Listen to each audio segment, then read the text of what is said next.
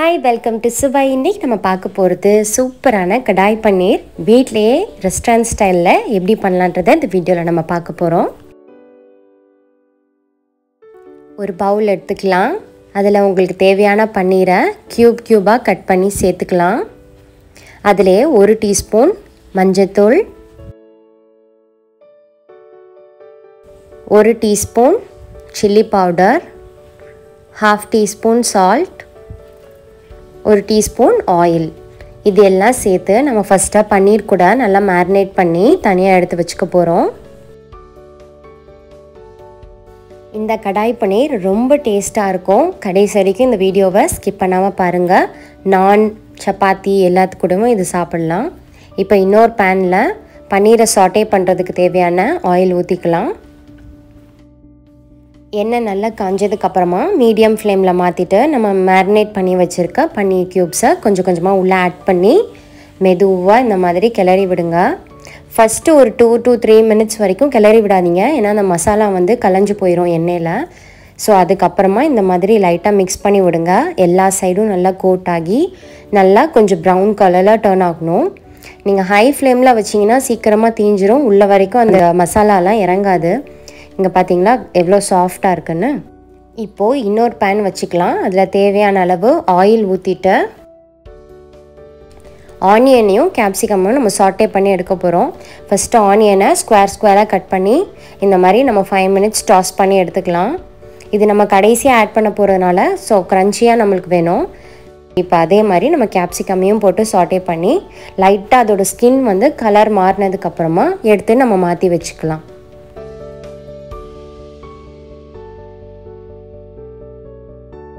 இன்னொரு பேன் வச்சுக்கலாம். நம்ம இதில் தான் பன்னீர் கிரேவி பண்ண போகிறோம் இதில் தேவையான ஆயில் ஊற்றிட்டு ஒரு டீஸ்பூன் ஜீரகம் மூணு காஞ்ச மிளகாய். உள்ளே சேர்த்து லைட்டாக சாட்டே பண்ணிவிட்டு பெரிய சைஸ் ஆனியனை குட்டி குட்டியாக இந்த மாதிரி நான் சாப் பண்ணி வச்சுருக்கேன். அதையும் நம்ம உள்ளே சேர்த்து நல்லா இதை கோல்டன் ப்ரௌன் கலரில் வறுத்து எடுத்துக்கலாம். இப்போது ஆனியன் நல்லா கலர் மாதிரி வந்துருச்சு. இப்போ இது கூட ரெண்டு டீஸ்பூன் ஜிஞ்சர் கார்லிக் பேஸ்ட்டு சேர்த்து நல்லா அதோட பச்சை ஸ்மெல் போகிற வரைக்கும் சாட்டே பண்ணி எடுத்துக்கலாம்.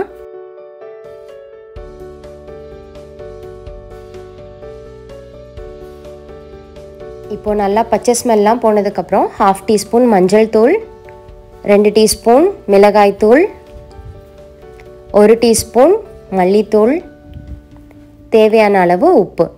இதெல்லாம் சேர்த்து நல்லா ஆனியன் கூட மிக்ஸ் ஆகிற மாதிரி நல்லா கலந்து விட்டுட்டு ரெண்டு டீஸ்பூன் அளவுக்கு தண்ணி ஊற்றி இந்த பச்சை ஸ்மெல் போகிற வரைக்கும் நல்லா வதக்கி எடுத்துக்கலாம்.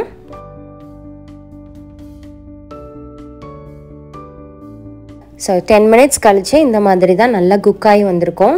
இப்போது ரெண்டு மீடியம் சைஸ் தக்காளியை நான் மிக்சியில் போட்டு அரைச்சி அதோட பியூரியை உள்ளே சேர்த்துக்கிறேன். நல்லா இந்த மாதிரி கலந்து விட்டுட்டு எண்ணெய் பிரிஞ்சு வர்ற அளவுக்கு நம்ம குக் பண்ணி எடுத்துக்கலாம்.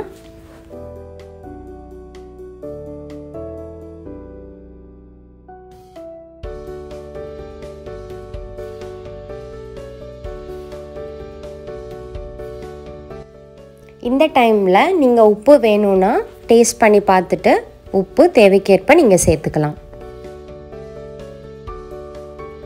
பொறுமையாக மீடியம் ஃப்ளேம்லேயே வச்சு குக் பண்ணுங்கள் இல்லைனா அடி பிடிச்சிரும்.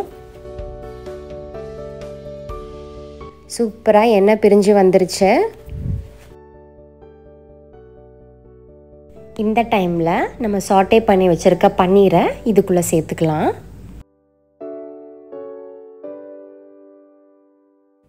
நல்லா பன்னீர் வந்து கோட் ஆகிற மாதிரி மிக்ஸ் பண்ணதுக்கப்புறம் நம்ம சாட்டே பண்ணி வச்சுருக்க கேப்சிகமையும் ஆனியனையும் உள்ளே சேர்த்துட்டு அதே அளவுக்கு ஒரு சைஸ் டொமேட்டோவையும் ஸ்கொயராக கட் பண்ணி இதுக்குள்ளே சேர்த்துக்கோங்க.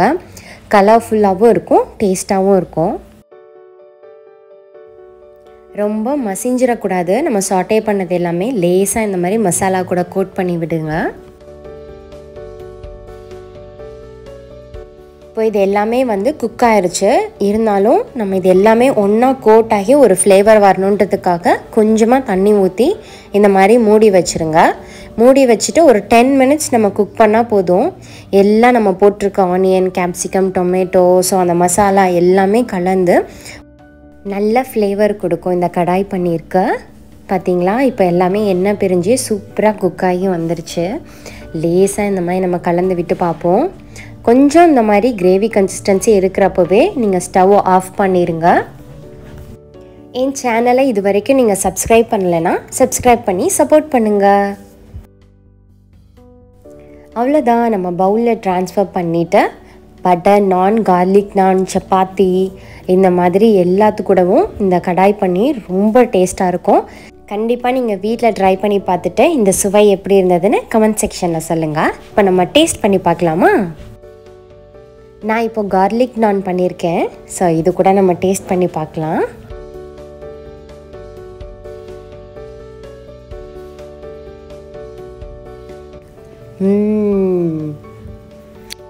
சூப்பராக இருக்குது நீங்களும் ட்ரை பண்ணிவிட்டு எப்படி இருந்ததுன்னு சொல்லுங்கள் டாட்டா